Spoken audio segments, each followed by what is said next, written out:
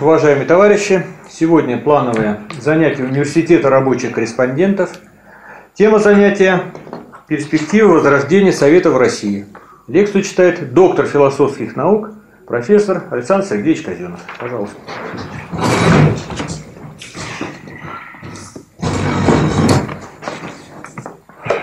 Ну что, тема, можно сказать, для этой аудитории известная. Э, такую лекцию я уже читал, забыл, правда, сколько лет назад. Потом с этой темой выступал я на конференции по советам э, в Ульянке, в Доме музея Елизаровых, Ульяновых. Была специально у нас конференция Красного университета по советам. Отчасти написал статью на эту тему. Вот она опубликована в книжке по советам, там лежит с Михаилом Васильевичем. Там эта тема есть немножко. Ну и вообще эта проблематика нашими лекторами, она так не теряется из вида. И вроде бы все знакомо, известно. Вот, и тем не менее, значит, отчасти как-то, может быть, забывается старое, вот, а отчасти появляется новое. В том числе и как говорится, на нашем таком рабочем исследовательском столе. Все время какие-то возникают такие находки,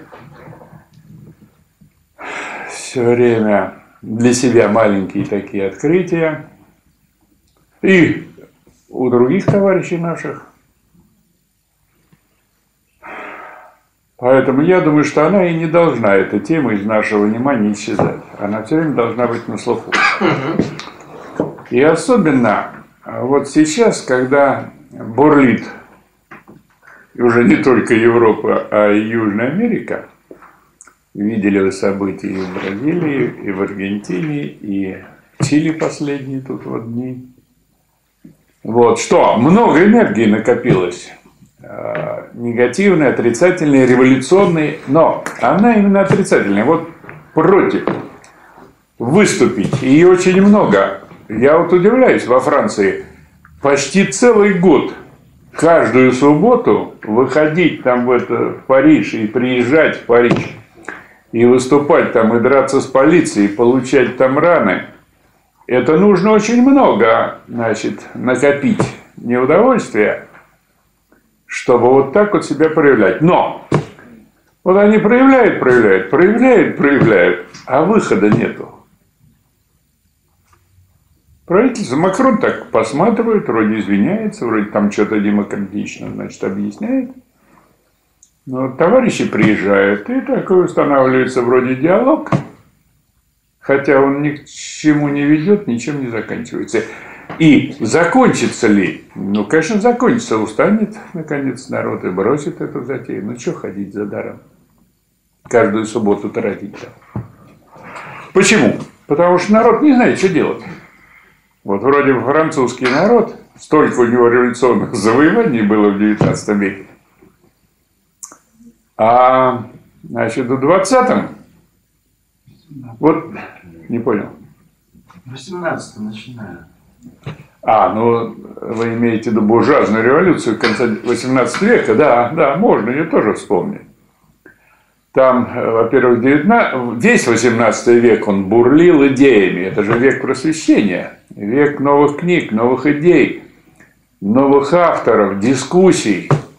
Много такой вышло мировой литературы. И, скажем, Энгельс в антидюринге и э, в научном социализме говорит, что значит, философские основы, они созданы в 18 веке.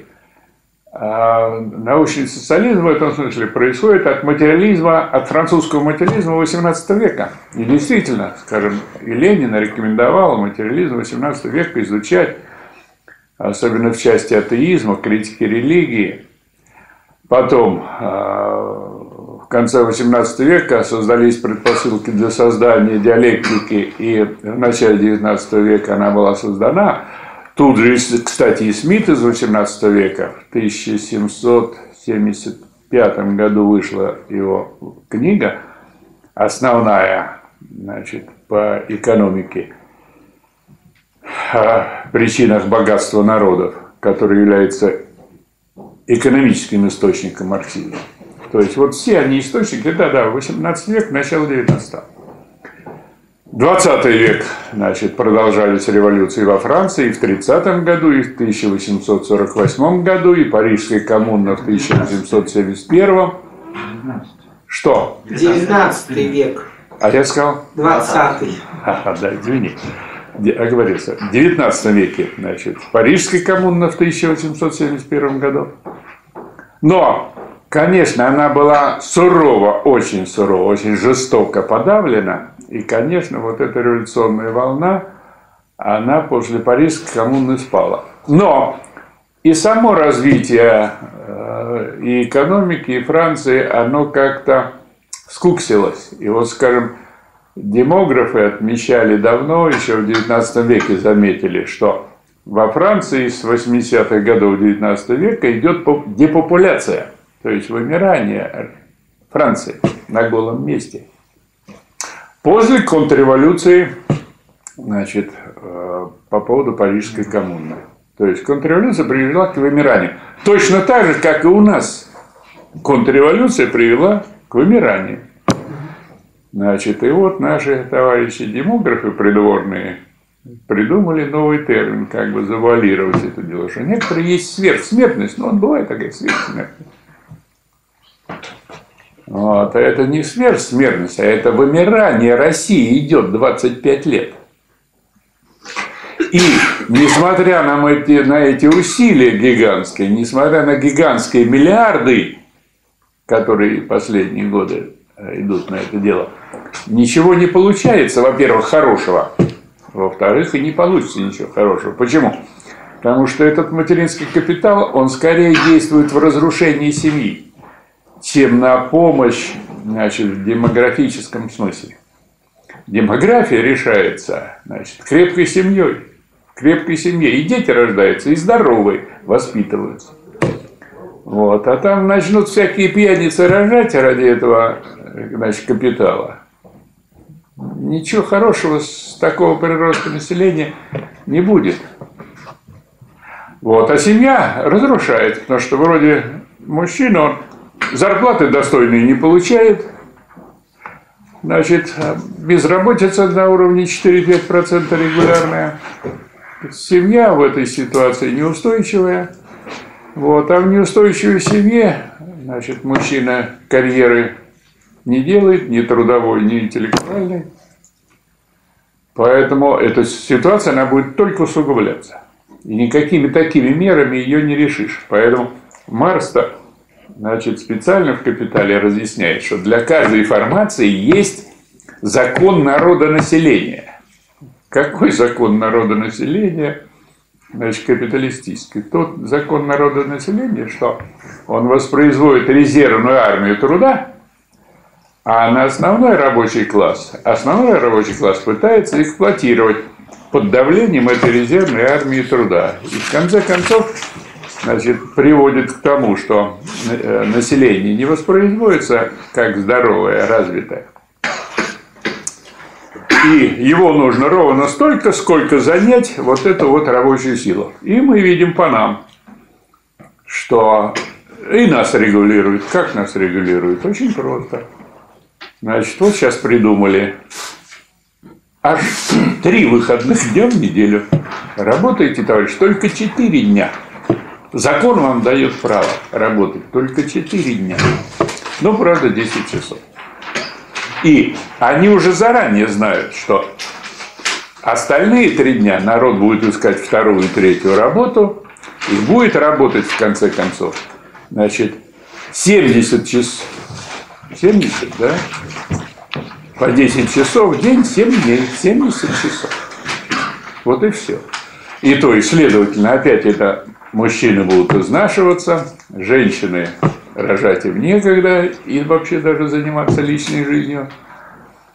Вот, карьеру надо делать и выживать. И поэтому все будет так же. Теперь в этой, при такой работе прибавили пенсионный возраст, выход на пенсию, возраст выхода на пенсию.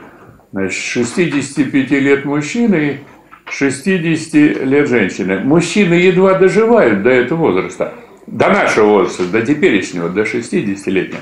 До 65 как раз тут все, весь, все эти возраста перемрут. И перемрут, а пенсия останется в пенсионном фонде. И тогда пенсионный фонд будет воровать еще больше. Тут вот недавно зафиксировали несколько миллиардов увода из пенсионного фонда. Вот. Это уже много, а все говорят, что им не хватает. А потом будут воровать еще больше. Поэтому отработал человек до 65 и умер. Не мешает. Это я называю оптимизацией теперь у нас. Вот раньше у нас была стабилизация. Помните, Ельцин все и Черномырдин ратовали за стабилизацию, чтобы все было стабильно. Вот мы держимся за стабильность. Вот экономика стабильно разрушалась и разрушалась, да разрушалось все до дна. Вот теперь оптимизация. Раз там где-то нужны фельдшерицы в каких-то пунктах, значит, эти пункты надо закрыть. Если какая-то плохая больница, ее надо закрыть. Вон там в Ярославле, поликлиника номер 14. Закры... Туберкулезная больница где-то там что-то хромает. Тоже закрыть надо, она не оптимальная, не работает, доходов не дает. Только что меня разводила дама по телефону. Значит, предлагала операцию мне сделать. То есть, ну, обнаглели уже совсем. И главное звонит. Вот я где-то там на третьей, четвертой минуты понимаю, что меня разводят. Ну, я и подыграл, конечно, там. Не станешь так уж ругаться по телефону, ну и потом тебя знают, по телефон есть, фамилия, имя, отчество есть там, а это банда. Вот, поэтому так, ну, вежливо отказался. А бабушки, э, бабушкам позвонят, и им там что-нибудь скажут, значит, что вот у вас там где-то пятно какое-нибудь, или нарыв, или еще что-нибудь. Бабушки перепугаются и отдадут всю пенсию на лечение. Значит, вот на самом деле значит, происходит какая политика. И в 20 веке во Франции значит, пришло социалистическое правительство до войны. Оно побыло-побыло немножко, его разогнали. В 75-м, по-моему, победил Миттеран, лидер социалистической партии Франции. Ну, народ вроде обрадовался, думает, ну, хорошо, наконец-то. Вот. И 7, там семилетний цикл, 7 лет раз отправил, его избрали, еще раз 7 лет отправил. И вышел почетным гражданином. Почему? Потому что хорошо служил буржуазии. И все это Франция проглотила. И все там философы, идеологи, все левые – там, что не философ, все левые. И некоторые приезжали в Советский Союз, тут с нашими общались. Левые такие, ультралевые революционеры. Даже маоист один был. Но толку из этого нету никакого. И, скажем, 20, 21 век начался. Но вот эти вот бунты есть, но они какие-то бессмысленные. И требования, они такие очень общие, абстрактные никаких действительных требований, а тем более какой-то серьезной борьбы по этому поводу нету. Ну, вышли, погуляли, там подрались, поломали машины, подожгли а, магазин какой-то, там грабанули, поддали. Это, конечно, все хорошо, и это похоже на борьбу, на ее начальный этап. Но целый год этим заниматься, ну, как-то бессмысленно. Я думаю, что вот русский народ, он не такой. И в этом смысле даже вот эти последние, последние наступления на права и завоевания трудящихся СССР, в том числе повышение пенсий, наступление на рабочий день, а это уже не первое, а второе, если вы помните, Прохоров уже предлагал 60-часовую рабочую неделю год или два или три назад.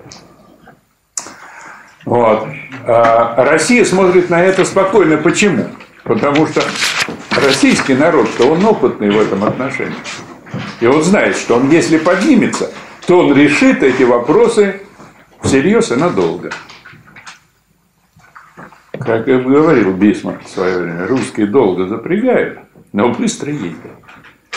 Вот. И так будет и на этот раз. И в этом смысле, вот я как дошел, вспомнилось мне занятие, семинар проводил Владимир Ильич Ленин в Швейцарии э, в декабре 16 года. И мы эту ситуацию тут вспоминали несколько раз. И я ее вспоминал здесь. И вы ее, наверное, помните, я напомню. Что в декабре 16 года, вспоминая революцию 1905 года и говоря о перспективах, Ленин говорит, ну, мы-то старики не доживем, а вы-то доживете до социалистической революции. Это значит, Ленину было 46 лет. Тогда длительная жизнь интеллигенции была 54-55 лет. То есть у него был запас 10 лет. И надо сказать, что и прожил он вот эти вот 10 лет. 54 года он умер.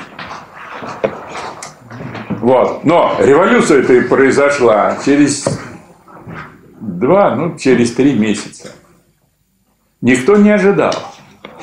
Хотя предпосылки, конечно, они все были, в том числе и жили в революционной ситуации, причем она была определена не только лично Лениным или не только каким-то ученым, а э, время, время революционной ситуации было определено Базельским конгрессом значит, Второго интернационала. То есть социал-демократические, социалистические партии Европы собрались и признали, что живут в революционной ситуации. И через два года началась война. Война и была способом выйти из этой революционной ситуации. Причем это опять-таки, это вот не выдумка тех правителей, а это, скажем, Гегель еще в философии истории пишет, что правитель, чтобы отвлечь значит, население от каких-то политических проблем и претензий, устраивает войны время от времени. И действительно, война, тут она объединяет нацию, все вроде заняты войной, и как-то проблемки эти социальные рассасываются, уходят на второй план. Так и тут, значит, товарищи буржуи европейские устроили войнушку, чтобы отвлечь народ от революционного движения. Но это не получилось. Поэтому Значит, была революционная ситуация, и тем не менее, вот в этой революционной ситуации Владимир Ильичу, а он все-таки, значит, большой эксперт по этому вопросу, значит, ему казалось, что революция, ну, вот они не доживут. Стало быть, лет 10 ее еще не будет. А она произошла через три года. Так и нынче. Значит, вот вроде мы живем, вроде ничего не происходит. А рабочий класс скорее отступают под этими ударами. То есть никакого большого сопротивления вот этим мероприятиям правительства по увеличению э, пенсионного возраста, по значит, изменениям, подготовке к изменению, удлинению рабочего дня, ничего не, не происходит. Никакой особой борьбы нет. Есть какие-то всплески. Есть отдельные там движения, отдельные значит, союзы, но больших выступлений нет.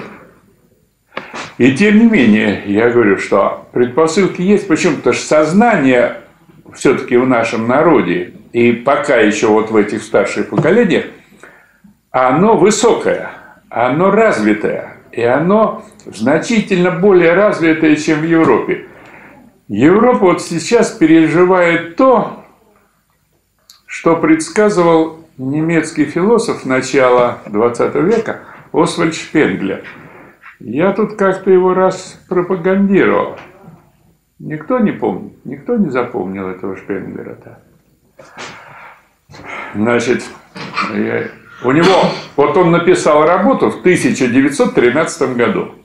И в этой работе предсказывает, что Европа называется «Закат Европы». И он говорит, что Россия, э, Европа стоит накануне череды мировых войн. Поэтому он, во-первых, предсказывает, что через год начнется эта война, Первая мировая. Во-вторых, он потом, чуть позднее, предсказал, что через 25 там, лет или сколько-то будет новая мировая война. И правильно, была Вторая мировая война. Почему? Потому что вот этот буржуазный класс, который сформировался и правил, к началу 20 века. А это класс уже не такой неактивный молодой буржуазии, который хочет сделать производство, наладить, опередить других. А это уже буржуазия, которая победила вот в этой конкуренции с такой нормальной средней развивающейся буржуазией уже стала финансовой буржуазией, значит, овладела финансовым капиталом, стала руководить всем прочим капиталом. И она уже имеет такой паразитический характер. И он говорит, что все подменяется. Значит, физическая культура вырождается в спорт. И вот мы-то сейчас видим очень хорошо, что действительно, значит, э, не физическая культура, а сейчас выматывание людей. Выжимают там этих девиц. Жалко на них смотреть, на этих фигуристов. С одной стороны, конечно, это какие-то фантастические достижения, там крутиться в воздухе четыре раза вокруг своей оси. А с другой стороны, это, я думаю, достается, но какой-то ломкой и организма, и психики, и все прочие. Значит, сколько больных, помирают спортсмены вот тут последние что-то годы. Значит, молодые, там 20 лет, хоккеист умер на площадке. Другой там умер во время тренировки, что-нибудь еще такое. Значит, обычная культура высокая вырождается в абстрактную живопись, в абстрактную какую-то культуру. И точно мы сейчас видим, стоит, вернее, зала, большой зал, значит, висят какие-то чертежи раскрашенные, и вот народ ходит там глубокомысленно, значит, задумается, что же это художник хотел нам сказать. И так все другие. Наука. Наука тоже. Раньше наукой занимались, занимался господствующий класс. Капиталисты. У них есть деньги, есть свободное время. Вторые, третьи дети. У них есть деньги на проживание, на культурное, на досуг и прочее. Нету денег там на бизнес, может, папочка оставил старшему сыну. Но на жизнь у них есть. Они занимаются наукой. Какой-нибудь лорд Кавендиш, химик, да? Или там Ньютон, или еще кто-то. Вот. А тут теперь наука стала, ну, производством. И там за какую-нибудь наша Академия наук, там за копейки доценты с профессорами, значит, приходят, там ведут какие-то исследования на оборудование, которое еще в советское время устарело. Поэтому молодежь на это смотрит, на эту ситуацию и уезжает. Но Несмотря на это все, значит, э, Европа, она сохраняется и пытается выжить, но выжить в каком-то таком примитивном, хозяйственном, экономическом, гастрономическом, если хотите, виде. А вот каких-то серьезных духовных идейных движений в Европе сейчас ну, не наблюдается. Вот в конце прошлого учебного года, где-то в июне, да, в июне, на философском факультете приезжал философ из Германии. Молодой такой, правда, парень, 35 лет. Вот делал доклад. Ну и он делает доклад, а я смотрю, наши товарищи, они зевают. То есть им вот то, что он какую-то ерунду, какую ерунду там докладывает, это все для нас какой-то пройденный этап. Это все мы уже давно знаем. Это он сам не разобрался в каких-то проблемах, а думаешь, вот приедет в Россию, там кого-то чему-то научить. Поэтому такое время довольно бездушное. Хотя, значит, старается, пытается выжить. Но выжить вот в этом вот экономическом смысле. Но все равно не удается. Скажем, экономический рост сейчас в Германии там тоже на уровне 1-2%. Причем по некоторым параметрам Германия начинает уступать. Э, начинает уступать Франции. Англия разваливается, как видите, на наших глазах. В Америке, ну, как один товарищ выразился, идет холодная гражданская война. Ну, выражение, конечно, интересное, но вот что-то оно отражает. То есть вот такой тупик везде. Но я думаю, что И у нас он тупик общественный, то есть начальство не знает, что делать, кроме того, что нужно эксплуатировать, чтобы работали, чтобы вышибать прибавочную стоимость. Но в позитивном смысле что делать? Ни начальство не знает, ни, в общем, какие-то политические силы э, ничего не предлагают. Поэтому кажется, что никаких предпосылок нету для Совета. Но я думаю, что и это обман. Предпосылки были, есть и будут. Причем э, я-то думаю, что полезно говорить не только о предпосылках в этой теме, но и о перспективах.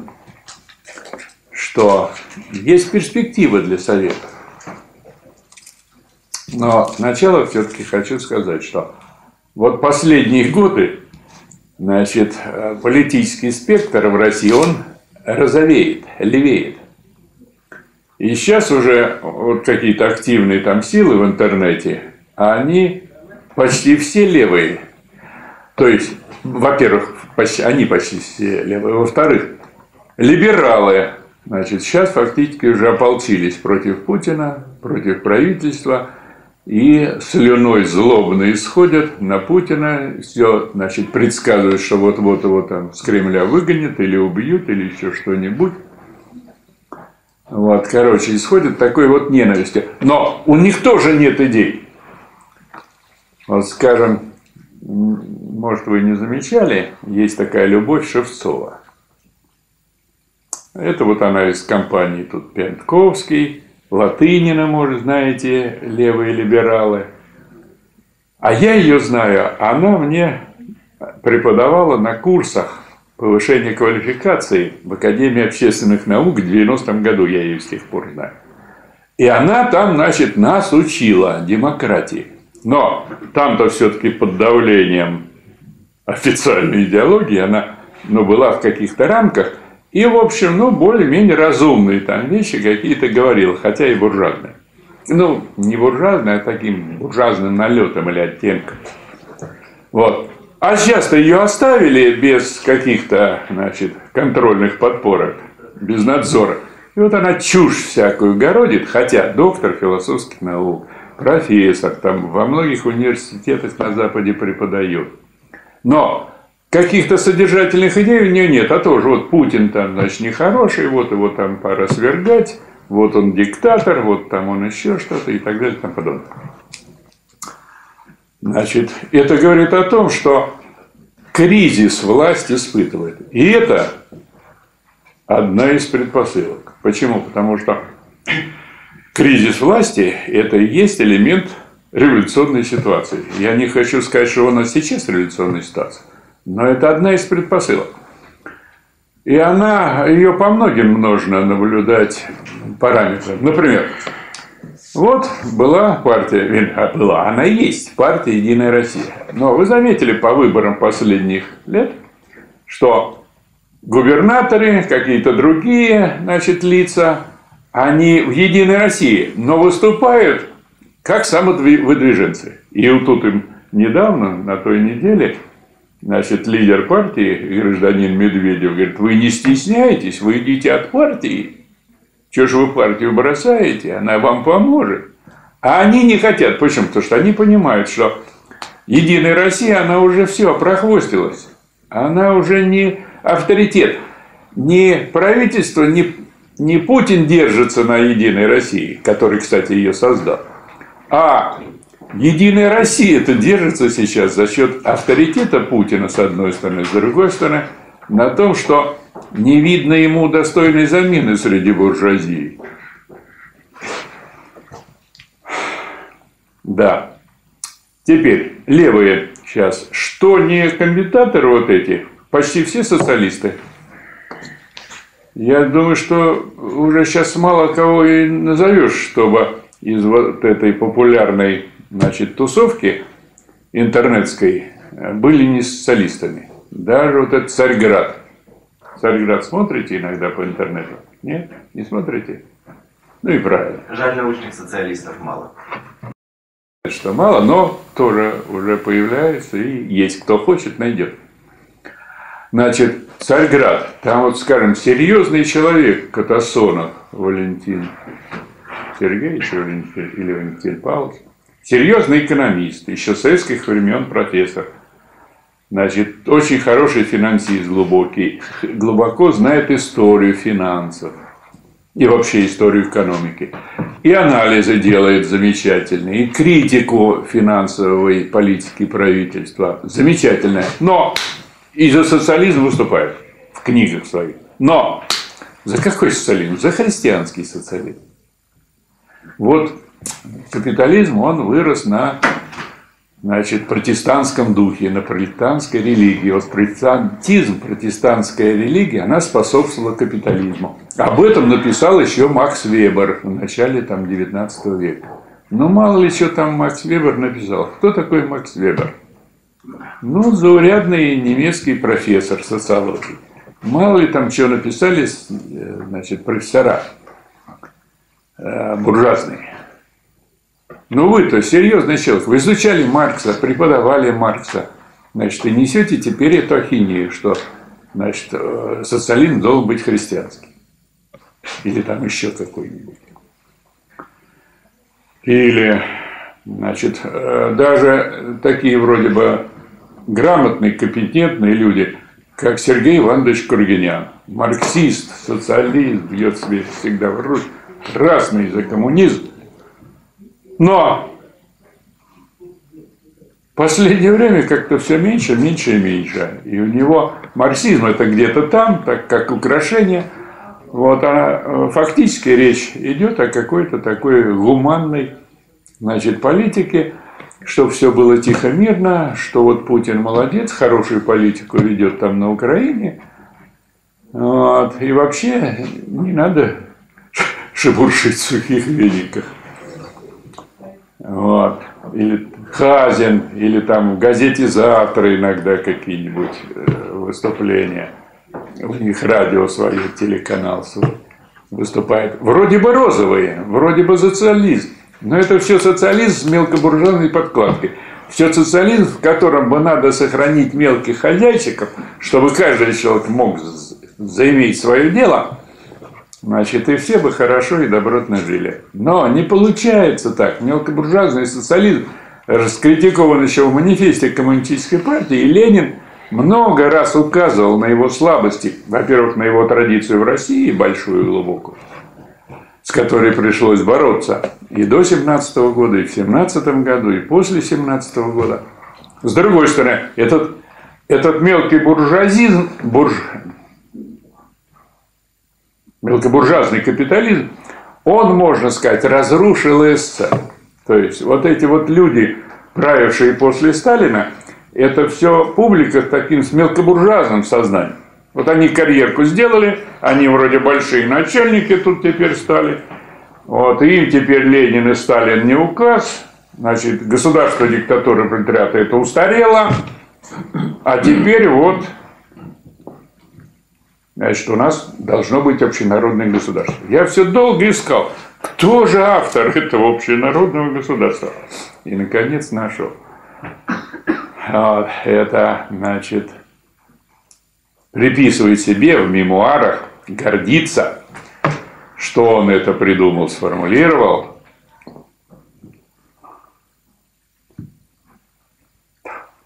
Бывает же такое. Что? Б, Б, Б, Б. Бурлацкий. Бурлацкий. Бурлацкий. Да, Бурлацкий. Бурлацкий. Федор Иванович Бурлацкий из Украины, прибывший там в начале 50-х годов в Москву, закончил аспирантуру, года через 2-3 попал там, значит, в правительственные структуры и сделал выдающийся открытие, что теперь нам нужно общенародное государство. Но это, конечно, не он открыл, а это было, так, было, так, было такое настроение в интеллигентской среде в Москве тогда. Вот. И это настроение, ему пом... на... оформить это настроение в идею, помог ему оформить, был такой Кусинин, Отто Вильгельмович, член ЦК КПСС, один из идеологов, он еще был э, в ИКИ, в интернационале, в исполнительном комитете коммунистического интернационала, был одним из идеологов. Потом, когда ИКИ расформировалась, он был в руководстве КПСС. И вот он заведовал всякими идеологическими там мероприятиями. В том числе призвал как-то этого Бурлацкий, где-то что-то ляпнул там.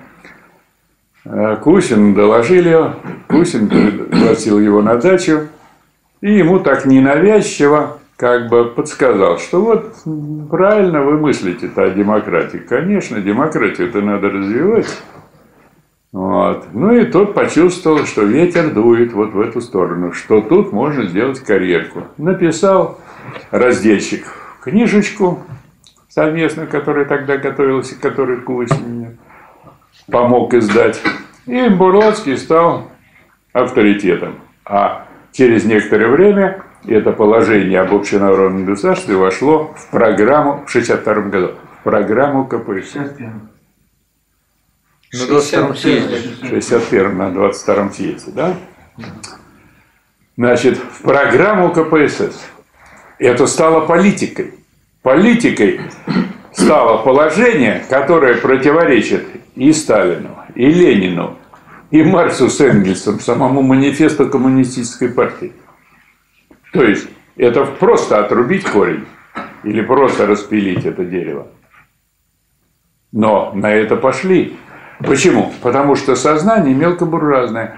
И вот то опасение, о котором говорит, говорил Владимир Ильич э, в своем завещании о э, значении воинствующего материализма, предупреждал, что у кого нет четкой концепции, четкой политики, четкой философской позиции диалектической, тот не устоит перед буржуазным натиском. И вот эти товарищи, они, у них и не было такой четкой позиции. Не было четкого марксистского мировоззрения, не было четких коммунистических убеждений. Поэтому они спокойно сдали. И, скажем, попался мне материал на эту тему. Кусинин членам ЦК разослал письмо о необходимости вот, перехода к общенародному государству. Письмо таким вроде как частным порядком. Ну, идея такая пришла им. Получила Фурцева Екатерина Алексеевна. Прочитала. Она, как человек все-таки грамотный, сразу реагирует. И звонит ему. Мол, как же так, Ольга, э, Вильгельм Ольга, Отто Вильгельмович. Он диктатура патриота, это краеугольный камень. Ну, знаете, ну, уже устарел, это хорошо было в переходном периоде. Ну да, посомневалась, посомневалась. Ну, раз такой человек говорит, ну, надо, ну, надо поверить. И вот, а она как раз из пролетариев, она из славного города Вышнего Волочка, вот откуда я позавчера приехал. И где пребываю в последнее время. Значит, я живу рядом с ее домом, в котором жила ее мать, в котором она родилась, где она там начинала жизнь. Потом вот сделала карьеру, стала министром. Вот. И вроде что-то у нее было идеологически. Да? Идея это была. И правильная идея это была. А устойчивости это не было. Точно так же и с советами получается, что все знали советы. Советы, советская власть, ППППП. А что такое советы? И мы здесь вот много раз обсуждали советы, советскую власть, сущность советов, соотношение с диктатурой патриота. Вот, а спрошу я, что такое советы? Все мне скажут так, или не все? Да, вот, сразу, сразу. Телефон зазвенел, надо ответить. Да, сразу телефон зазвенел. Да. И получается, что не очень советы. Поэтому ситуация такая, она двойственная. С одной стороны, есть в сознании русского и других э, России, народов России, сознание вот этой советской власти, сознание самоорганизации, самоорганизации на предприятиях, опыт организации, опыт работы в комсомоле, значит, в пионерии, в профсоюзах, хотя они были там уже такими полувыродившимися. Вот. Он есть этот опыт, но он этот опыт уже недостаточный. С другой стороны, все-таки он есть, он сохранился в теоретическом смысле, и, скажем, я даже где-то в конце 80-х годов уже тоже утратилась у меня в голове связь Советов с предприятиями, которая первоначально была, и в результате которой они возникли.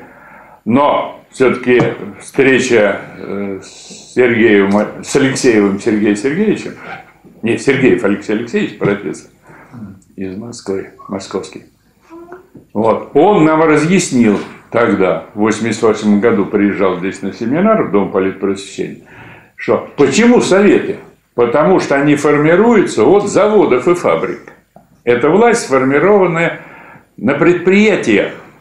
И за каждым депутатом стоит предприятие. И вот сейчас, думая о значит, перспективах Советов, я прихожу к пониманию, что одни как бы неудачно были названы Советы рабочих первоначально. Вот в пятом году Ивановский совет назывался Совет рабочих. И тут то неудобство, что вот под термином рабочих, да, разные люди понимают разное. Скажем, совет рабочих, то есть пришли отдельные рабочие и тут вот советуются. Хорошо. Теперь, рабочих. Можно сказать, что это вот масса рабочих, наконец от нее пришли представители и вот тут советуются.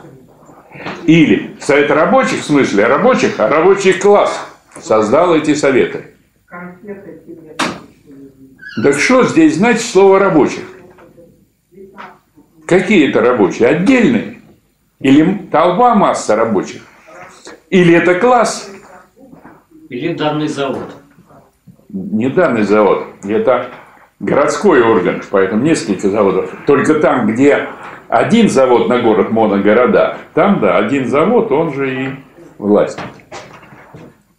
Значит, э, поэтому как бы название, оно такое размывочное. И сейчас поэтому это сказывается. Почему? Потому что мы не понимаем или теряем из вида, что рабочий представляет не себя, не свою личность, не свой интерес.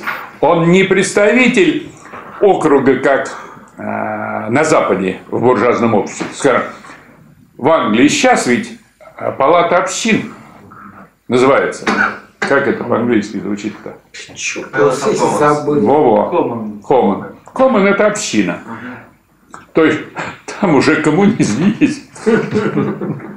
По названию, если судить, да? Вот. И наш совет, он, вообще-то говоря, совет общин должен быть. Или, по крайней мере, совет предприятий. Но, скажем, если назвать совет предприятий, то от предприятий пришлют каких-нибудь значит, функционеров, тем более второстепенных функционеров. Скажем, директора туда посылать вроде как-то не с руки, а какого-то зама, зам, который не нужен, который, которые нужны, они тут на предприятии нужны, а который не нужен, ну, можно послать и в совет. То есть, вот такое, значит, противоречивое положение, что вроде и рабочих, оно вроде правильное, и вроде оно не вполне выражает суть дела. Почему? Потому что депутат рабочий – это совсем другое дело, чем депутат от территории когда-то. Депутат от территории и сейчас, и раньше, он представлял территорию, представлял на территории интересы буржуазии и богатых людей. А депутат от рабочих и сам рабочий, он, конечно, представляет рабочих клик, но он представляет – и насколько он представляет. Значит, а тем более э, в повседневном словоупотреблении. От рабочих все равно он рабочий. К нему масса, не понимающая этих дел, она относится как к какому-то рабочему отдельному единичному. Во-первых. Во-вторых, его туда направили, а тут же задача-то, чтобы он еще совет представлял в трудовом коллективе чтобы он был как бы значит, э, вождем, лидером, руководителем своего трудового коллектива, может быть, даже старше директора. Он-то выражает государственную власть. А директор все-таки только производственную. Хотя при социализме и директорская власть, она тоже как бы государственная. Почему? Потому что она работает, он работает по государственному плану. Да, и, кстати, и так, и другие все вещи, скажем. Вот насколько названия, они могут восприниматься по-другому. Скажем, советы опирались и до революции, и после революции, и в советское время на профсоюзы. Английские профсоюзы называются как? Тред Юнион. Вот, Trade Union. Что такое Trade Union в переводе на русский язык? Трудовой союз. Это союз по продаже рабочей силы. То есть он выступает как монополист рабочей силы. И на производстве, значит, он приходит к начальнику, не он рабочий Петров Сидоров, или там инженер Сидоров, а за ним стоит профсоюз, который выработал решение, и этот товарищ, он только передает его начальству, что повысьте зарплату на 5%. А наши профсоюзы у нас, вот они, с одной стороны, вроде правильно названы, а с другой стороны, неправильно. Почему? Потому что по профессиям союзы, они создавались в начале 19 века. Там, сапожники с сапожниками, портные с портными, значит, углекопы с углекопами. Но это пока еще сознание ограничено и непосредственно. Они понимают, что вот тут нам, на нашем угледобывающем предприятии, нужно соединиться с организацией. И назывались они, вот Марс их называет э, в нищете философии, значит, коалиции. И вот я буквально недавно заглянул в словарь, задумавшись над этим словом, и заглянул в словарь латинский, увидел, что алиция – это словечко такое, значит, такой характер рода, общины, характер роста, соединения, сращения и роста – то есть какое-то органическое такое соединение. И действительно, конечно, они и были органическими. Почему? Потому что они делали этот союз по монополистов или монополиста по продаже рабочей силы. Потом, когда стали более-менее развиты. Значит, а у нас, раз, он, раз это сохранилось название, оно до 17 века и при советской власти – то ориентирует сознание, что это профессиональный союз, союз по профессии. Тогда как в 17 году была большая значит, борьба с так называемым анархосиндикалистским уклоном, что а, многие именно останавливались на вот этой борьбе своего предприятия или своей профессии. То есть узкопрофессиональный подход к борьбе. И э, более прогрессивные люди и партии выступали за производственные союзы. То есть на производстве должны все профессии объединиться на одно. И вот этой вот стихии овладели тогда как бы возникшие самостоятельно ниоткуда так называемые рабочие комитеты. То есть на предприятиях во время революции стихийно создавались рабочие комитеты, которые брали власть на своем предприятии, даже если не было профсоюзов или партий. Не выбирали мужиков серьезных, значит, делали их комитетом этим рабочим. И если там пытался собственник что-то такое или закрывать предприятие, или что-нибудь вредить там власти, они его отставляли и сами руководили предприятием. Так же было, скажем, в Светогорске, э, когда у нас в Выборгском районе там предприятие «Бумага» как Выборгский ЦБК Выборгский в ЦБК, Советский. Да, в поселке Советский.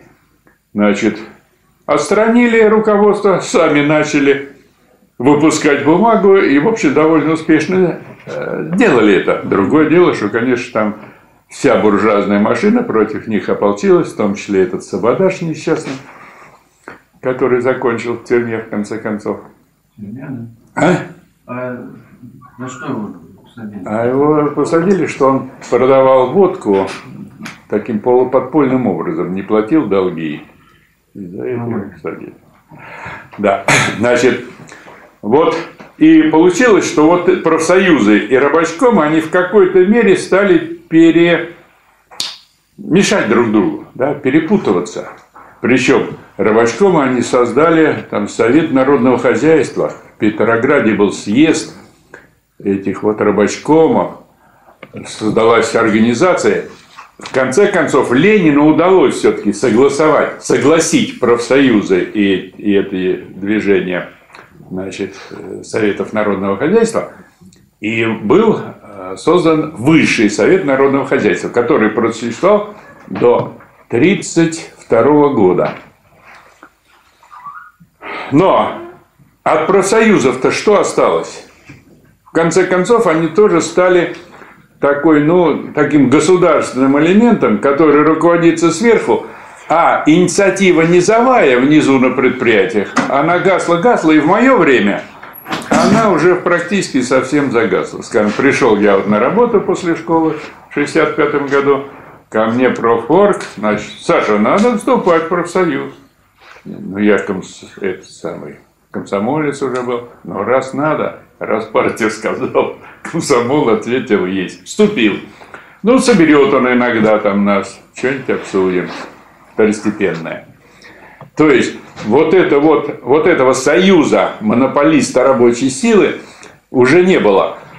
Насколько он нужен был тогда на предприятии, не знаю. Но когда попытались рабочие в 1962 году в Новочеркасске что-то там свое потребовать, элементарное, с ними уже начальство поступило на предприятие грубейшим образом. Просто грубо, по-хамски.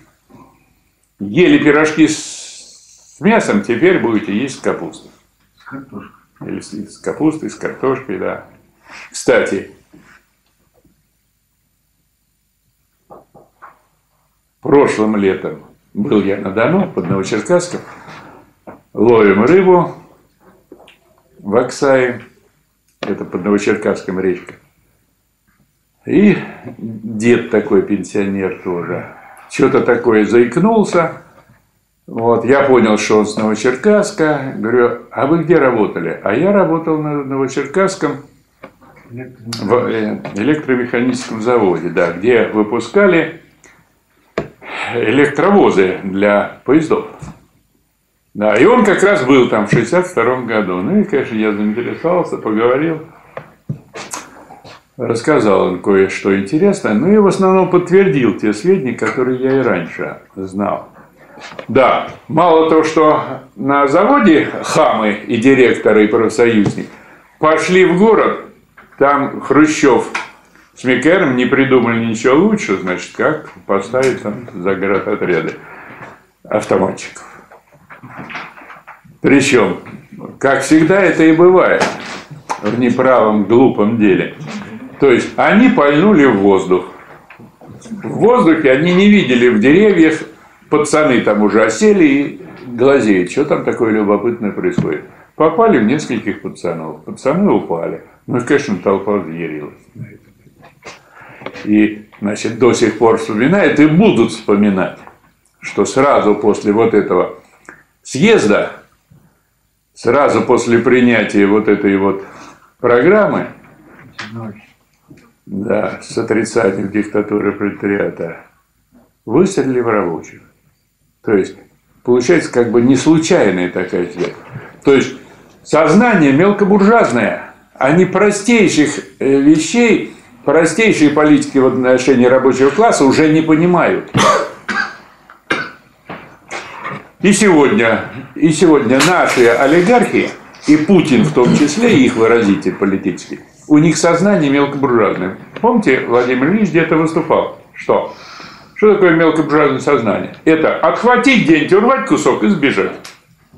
Но они-то уже хапают теперь миллиарды. Это кусищи здоровые. И за рубеж перевести, а потом и самому слинять. И каждый год по несколько таких случаев мы знаем. Причем воруют теперь уже не, миллиард, не миллиардами даже, а десятками миллиардов. Так на них не наработаешься. Я уж не говорю о том, что значит, не, не развивается экономика. Поэтому вот она предпосылка главная, что народ в нашей стране, он более рад в целом более развитый, более умный, более глубокий, более подготовленный, чем элита и правительство. Поэтому предпосылка живая. Конфликт между рабочим классом и капиталистом, он никуда не делся, он сохраняется, главная основа.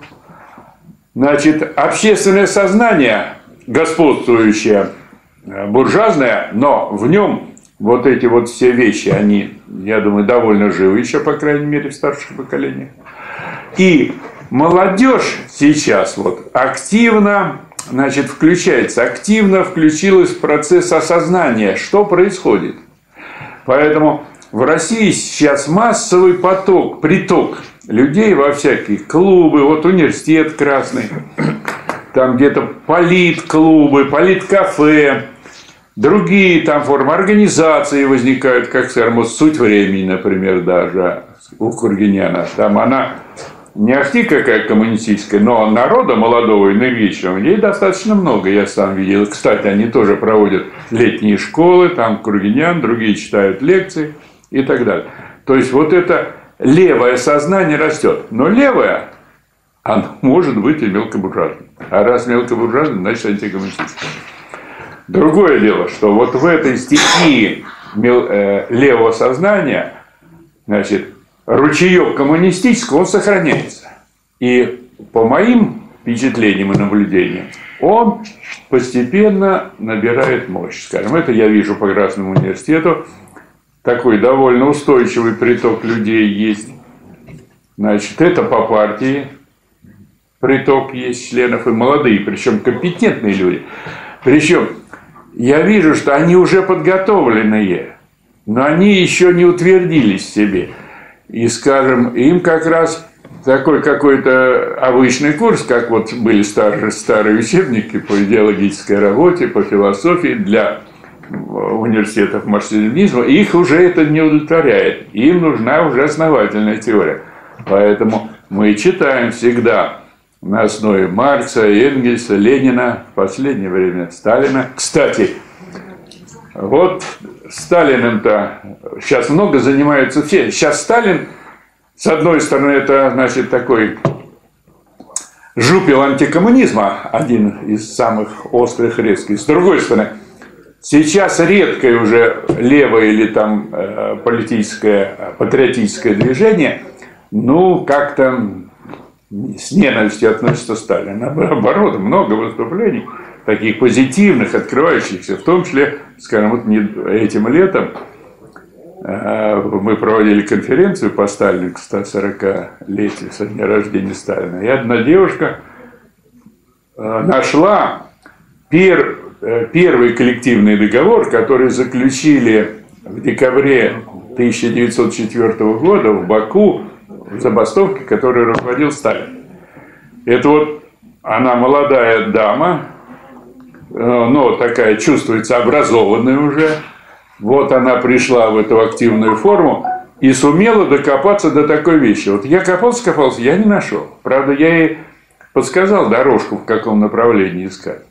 Но, скажем, вот я бы пошел, я бы не нашел, как она рассказывала, как она нашла этот документ. Я бы не нашел. Почему-то, что он был 30 декабря закончилась забастовка, а уже 31-го в журнале был опубликован этот коллективный договор.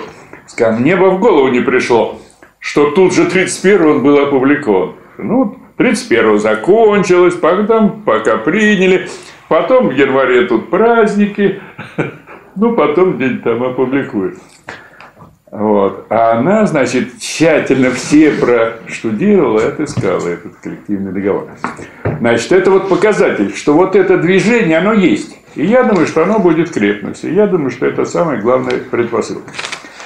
Ну, а из теоретических предпосылок та, что только в России есть опыт создания победы осуществление деятельности Совета, советской власти и даже опыт поражения. А опыт поражения он тоже много дает. На этом мы тоже много научились. И особенно поняли глубоко ту мысль Ленина, который много раз ее истолковывал, говорил, доказывал, что Советы, они могут быть только руководимы коммунистами.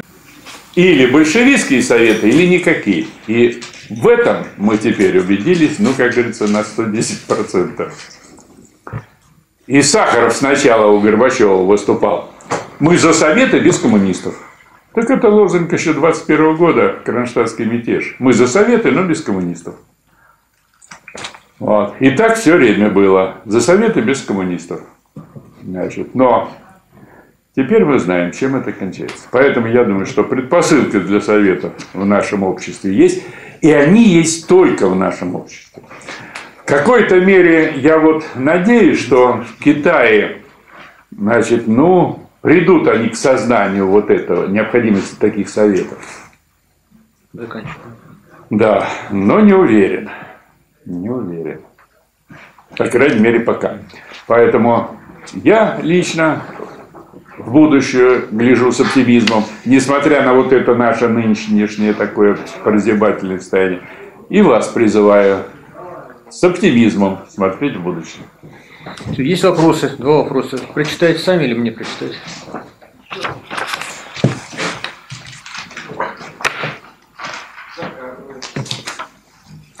Как влияет насильственное насаждение дурмана религии на мероприятие, на неприятие, на неприятие населением нынешнего буржуазного режима? Как влияет теле... Телевидение, короче. Телебрехунство. Не надо, телевидение. Ну, телевизор. Телеви... Телеви... Телезомбоящика Пандоры. Ну ладно. Я там негативно влияет. На политическое настроение населения. Да, я думаю, что вы и без меня это все Ответ прозвучал. знаете очень хорошо. Вот. Что касается насильственного насаждения дурмана религии, то никакого особо насильственного насаждения, вот я думаю, все-таки нету. То есть есть обычная пропаганда, есть обычное нагнетание буржуазного сознания, но сказать, чтобы оно там было какое-то насильственное, религиозное, я, например, не могу. Вот. В то же время э, наш народ, он и в царские-то времена не был особенно набожным. Это, значит, видно из поговорок, из речи обычной, из словоупотребления, значит, из контекстов словоупотребления Бога, церкви и так далее – в Бога душу мать. Вот. А уж тем более после советской власти. И это, конечно, нас обманывает церковь или официальные идеологи, что у нас там религио... э, верующих, значит, по одним там данным 65%, а по другим там чуть ли не 80%. Это, ну, это чушь собачья.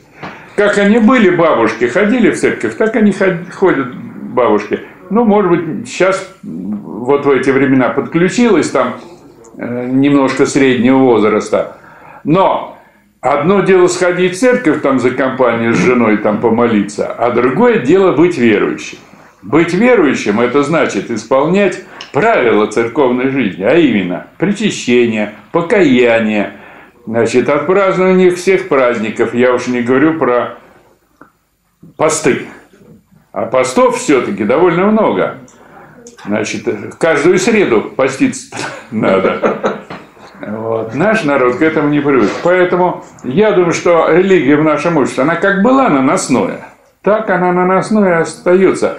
Тем более, что она активного, активной такой пропаганды не ведет. Скажем, активной я имею в виду в защиту народа. Скажем, против повышения пенсионной реформы. Она же не выступила.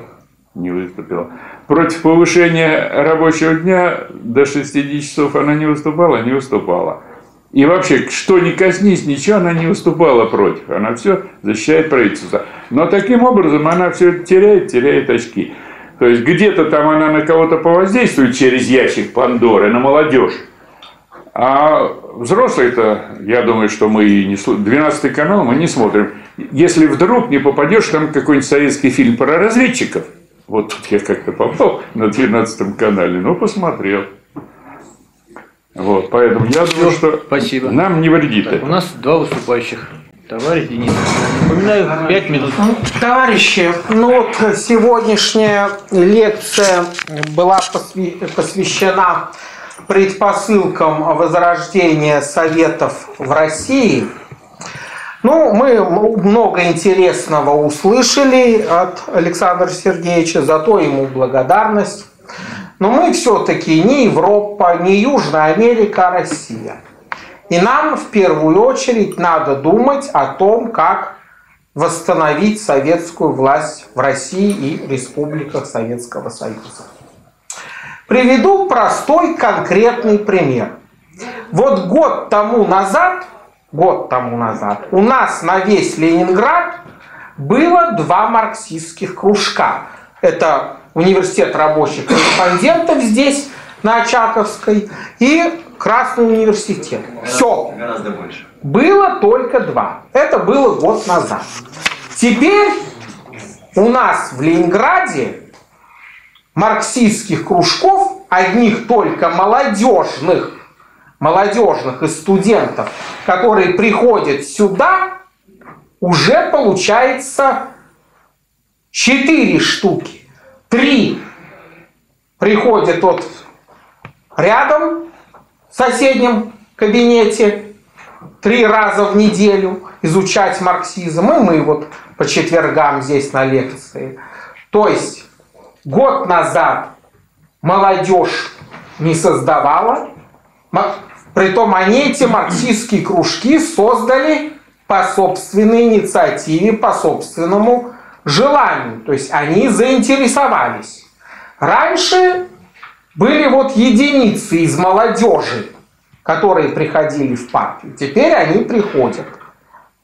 Хотя даже меньше года прошло. Почему возникает вопрос, молодежь заинтересовалась и стала создавать вот эти марксистские кружки? Ну, вывод простой, их жизнь заставила.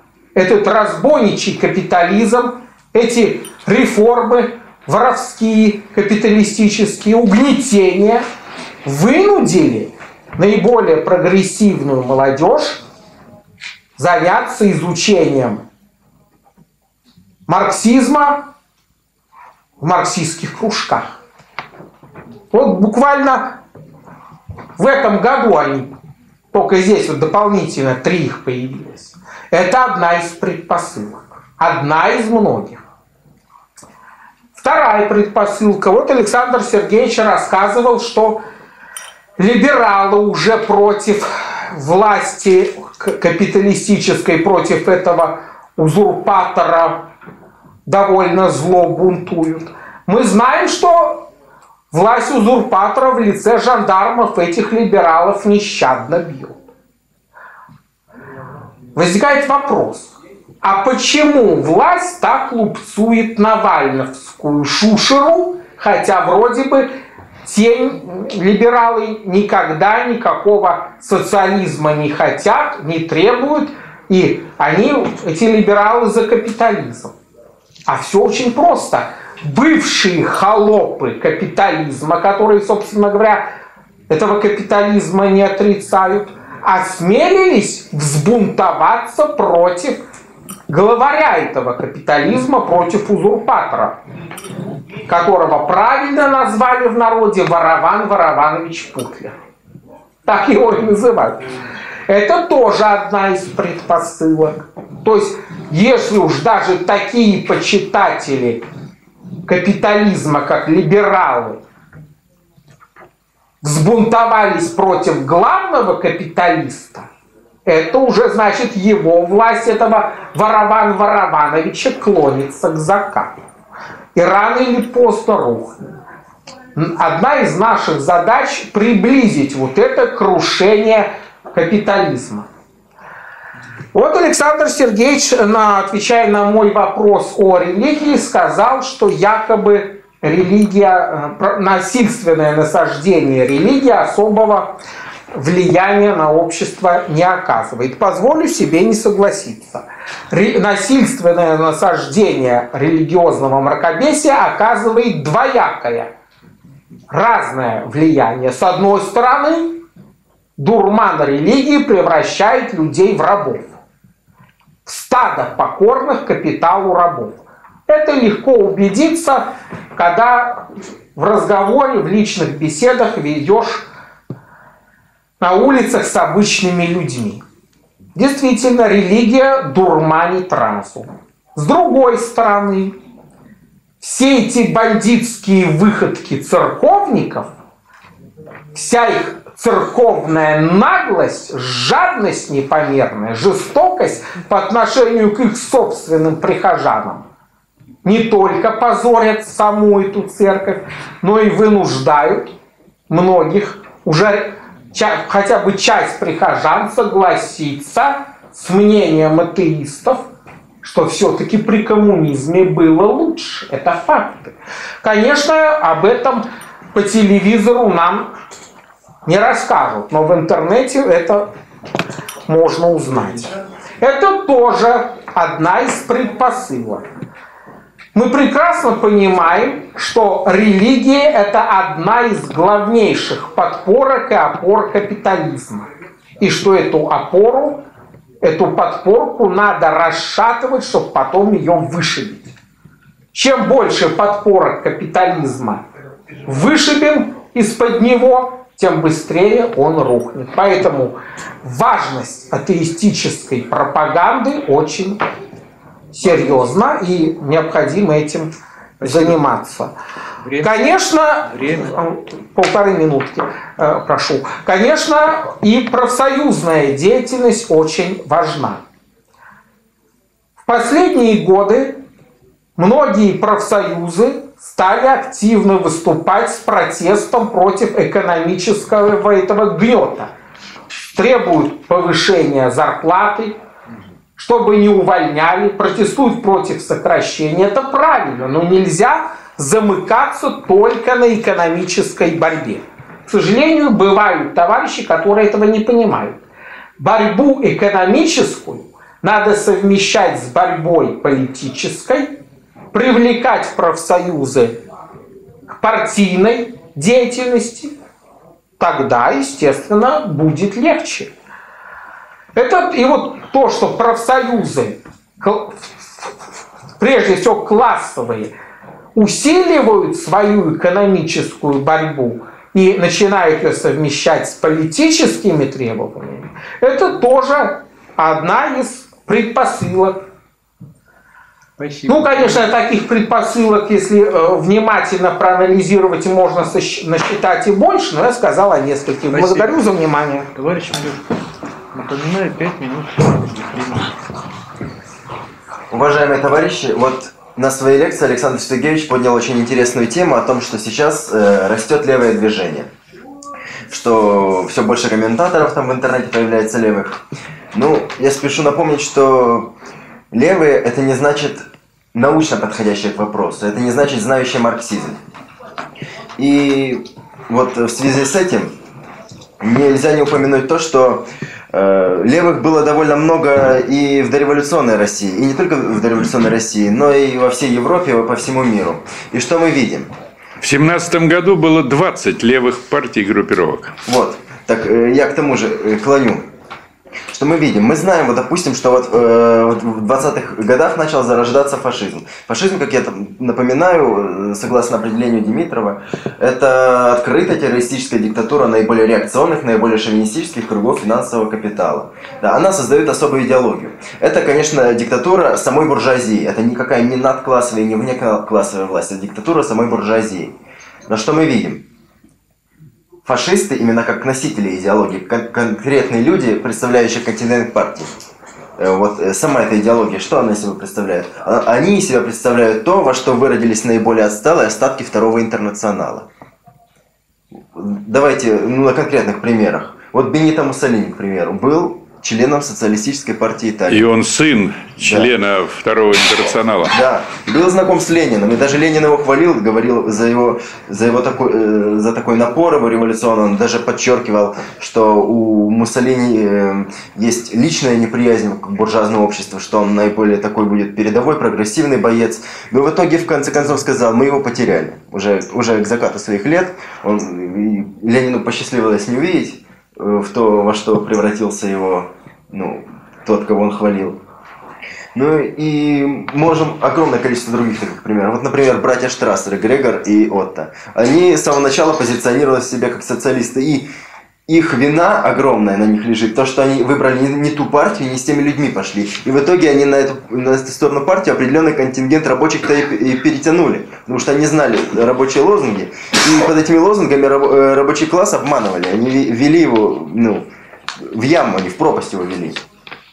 И, и- и не только они, даже Геббельс называл себя национал-большевиком в первое время. А потом даже говорил буржуа Адольф Гитлер должен быть исключен из национал-социалистической рабочей партии. Ну вот мы видим то, что вот самые такие тупые остатки этого второго интернационала, во что они превратились. Поэтому говорить, что вот э, то, что левые растут, это еще ни о чем не говорит. И да, Дмитрий Олегович, вы сказали о том, что растет количество марксистских кружков. Я вам скажу, если вы передо мной повесите карту Питера и Москвы и скажете отметить э, булавками все точки, где заседают по своим арендованным помещениям эти э, левые марксистские кружки, то в конце концов э, просто не хватит места, чтобы вставить очередную кнопку. Их развелось просто десятки. Они называют себя марксистскими, но они, по большей части это троцкисты там есть. Есть маоистским уклоном, их меньше, конечно, больше троцкисты. Вообще, в левом движении пошла э, тенденция на реабилитацию Троцкого, но это от нищеты мысли, это деградация. Это потому что, ну вот Сталин, он как бы надоел, давайте теперь за Троцкого. Нет. Марксисты, они всегда стоят на сталинской позиции. Марксистский, э, потому что Сталин всегда представлял э, ортодоксальную марксистскую линию. И поэтому, ну, если говорить о росте коммунистического движения, то ну, тут нужно говорить не о росте левых, и, не, и тем более не, об, не об объединении этих левых, так называемой широкой левой, как ее любят называть, а об объединении ортодоксальных коммунистов с рабочим классом, революционным рабочим классом, готовым к отчаянной борьбе. Ну и лекция, как известно, называлась э, «Перспектива возрождения Советов в России». Нет, предпосылки. А, Предпосылки. Предпосылки возрождения Совета в России. Это я говорил, что здесь бы была бы хорошо бы приставка и перспективы. Да. Ну, предпосылки возрождения Совета в России, я эту мысль уже неоднократно высказывал и повторю еще раз, я и в интернете говорил, и везде, что я не считаю правильным мыслить о будущем социализме в границах нынешней РФ. Потому что все страны СНГ, которые образовались на постсоветском пространстве, они так тесно переплетены э, цепочкой обрабатывающих производств, они переплетены экономически, экономически, они связаны между собой. Поэтому революция в России, она неизбежно потянет революцию во всех этих странах. Поэтому если люди, которые говорят, вот мы хотим вернуть э, единство республик э, Советского Союза. Да единственный способ это сделать революцию в России. Потому что тогда она, она потянет за собой эти страны, и тогда они объединятся на почве единой идеи. Э, националь, не национальной идеи, а интернациональной идеи. Идеи пролетарского единства. Идеи класса, э, классовой борьбы и межнациональной солидарности. Только таким образом можно это вернуть. Да, на международной арене действует закон неравномерности развития стран. Поэтому о мировой революции, а то, так как ее представлял там Энгельс в принципах коммунизма, сейчас говорить не приходится, потому что он говорил, что не может революция в одной стране победить, она, долж, она весь мир за собой потянет. Но Ленин доказал, доказал, что при империализме идет неравномерное развитие стран, поэтому весь мир э, таким единым моментальным революционным процессом поднять на уровень социализма не представляется возможным. Но поднять на уровень социализма всю территорию э, бывших советских республик возможно. Это не только возможно, это неизбежно. Поэтому никакого социализма вот в этих границах России быть не может. Он может быть только на границах бывшего Советского Союза. И это обосновывается также экономически. Посмотрите, Украина это у нас это у нас сельское хозяйство.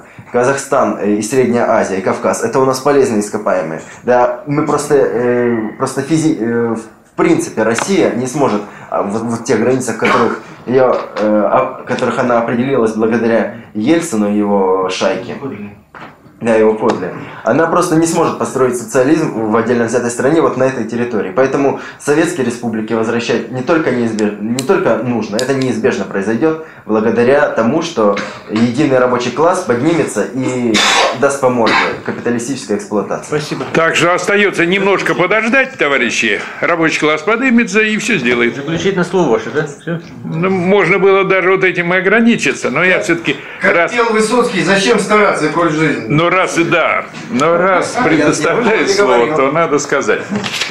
Значит, ну, насчет религии, что она там имеет значение, никаких сомнений нет. Она влияет, она расценяет буржуазное сознание там и так далее. Но все-таки вот такого насильного какого-то, значит, э, по отношению к людям э, действия церковь не откажет. Она там захватывает или действует от имени государства, а это и есть насилие, это да. Но все-таки, значит, по такой повседневной и э, личной жизни на каких-то граждан, я думаю, что такого насилия нет. Во-первых. Во-вторых, что наше население, оно в принципе не религиозное.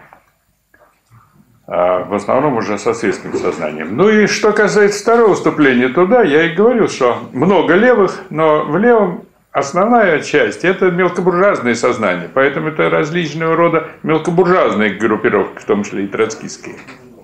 Кстати, на эту тему была хорошая статья Михаила Васильевича Попова о левых, где он показывает, что подлинно левыми являются только те, кто признают диктатуру пролетариата, значит, руководство коммунистической партии. Остальные Э, значит, теперь я понимаю, что они выражают движение и настроение против. Они левые, потому что они против данности. И это уже само по себе хорошо. Но за что, когда мы их спрашиваем, то они за какие-то мелкобуржуазные формы реставрации, значит, общества, э, реставрации капиталистического общества. Они так или иначе рано или поздно станут в основном антикоммунистами. Может быть, как и в 17 году, некоторые там группы анархистов примут э, значит, социализм, примут революцию и станут э, на стороне коммунистической партии. Почему? Потому что на, вы говорите, на идеях объединиться, объединяться республики. На идеях организуются партии, объединяются. Партия это и есть группа единомышленников. Не на идеях, именно. Да, на интересах объединяются, на, на экономических. Интересы, конечно, там трудящиеся, у них такие же интересы, как у нас. Причем сейчас и рабочая интеллигенция, получая по 15-20 тысяч, значит, у них интересы теперь очень близкие. И интеллигенция понимает, что она такой же пролетарий, наемный работник, как и рабочий. Только рабочий занимается физическим трудом, а они занимаются якобы умственным. И вы говорите, что на разум влияют. Чтобы на разум влиять, нужно иметь разум. разум это что такое? Вы спросили, вы, вы вам и сказали. Нет, вы говорите. Я поэтому вас спрашиваю, вы используете это. Разум это что такое? Способность человека мыслить. Нет. Отражение бытия идеальное. Нет. Идеальное. Это отражают и чувства, да? и представления, и восприятие. Они все отражают, бытие в том числе. Значит, а разум – это высшая ступенька сознания, высшая форма сознания, которая оперирует понятиями. Вот если вы оперируете понятиями, вы используете разум. Если вы не оперируете понятиями, вы разум не используете. Поэтому и церковь ничего она на разум особо не влияет. Почему? Потому что ее идеи они разумом не воспринимаются. Бабушки, они воспринимают это представлениями. Поэтому они приходят каждую там субботу и воскресенье, им одно и то же. И смертью смерть поправ, и смертью смерть поправ, и смертью смерть... Сто раз повторят вот эту смертью смерть поправ. Хотя никто ничего не, не попирал. Почему? Потому что на церковь, она сама ума наша не имеет. Она живет еще остатками там какого-то прошлого ума, что там сохранилось предшествующей, она же была господствующей идеологией. И тогда в ней был ум. Знаешь, вот что-то там умное сохранилось, вот у нее есть. А серьезного своего ума у нее нету. И у служителей у ее, кто туда приходит, у них тоже разума, вот этой высшей способности, у них тоже нет. Поэтому это все сфера чувств. Поэтому вчера они были сталинистами все, Гаркнул Хрущев на съезде, все сразу и сталиниста не найти. Вчера они были, значит, там все за советскую власть. Ельцин пальнул из, авто, из пушек, из танков. И нету и сторонников советской власти. Там вот остались, кто были уперты. Но они остались. Остальные все уже как будто и нету ничего, ни коммунизма, ничего. Так что это сознание, оно выветривается тоже быстро. Почему? Потому что оно как раз до разума не доходит. Ни у него нет разума у церкви, ни у тех, кто их посещает. Но это все наш русский народ, это у него есть опыт советов, у него есть память о советах. Вот он слушает эти советские песни очень сердечно, душевно, как я показал вам. Поэтому в этом, вот я эту сторону хотел развить в этом э, выступлении. Что вот эта сторона, она есть. И это тоже одна из серьезных предпосылок. Когда она сработает, трудно сказать. Может, еще 10 лет революции не будет, как и Ленин говорил. А может быть, вот как тут в Сантьяго повысили цену на метро, и вдруг улицы Сантьяго значит, десятками тысяч демонстрантов э, покрылись. Они, у них нет этого опыта. У них есть опыт с с первого года, когда они там выходили, а Пиночет их пострелял. Так и сейчас. Они вышли, а что делать, они не знают. Они против, но у них нету за. А у нас-то есть за, у людей есть вот это за, есть это позитивное. И оно ищет сейчас вот в этих молодежи, которые приходят в кружки, занимается, особенно выступает, она приглядывается. И как только она увидит группу крепких ребят, она пойдет. Когда это будет, сказать трудно. Спасибо, Александр Сергеевич. Объявление. Итак, значит, прошу внимательно. Следующий четверг, 7 ноября. День Великой Октябрьской социалистической революции. Поэтому занятий не будет. Мы встречаемся в этом зале через две недели, 14 числа.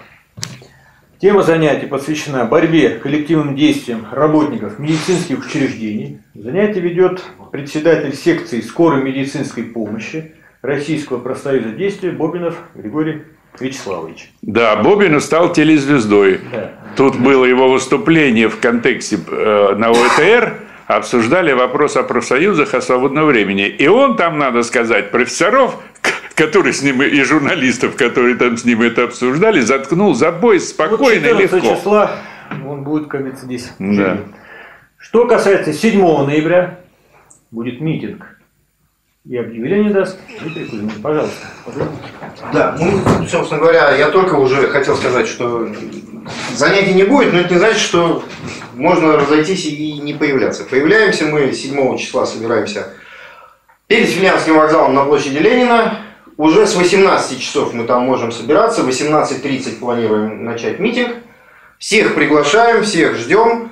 К вопросу о кружках мы пригласили представителей кружков, они тоже там будут и будут выступать. Заодно посмотрите, насколько они троцкисты или нет. Так что всех, всех ждем. Спасибо. До свидания. Ну, естественно, уже согласование со Смольным получено, так что все легально. До нас, правда, труда с конференции дошла. Нет, еще не.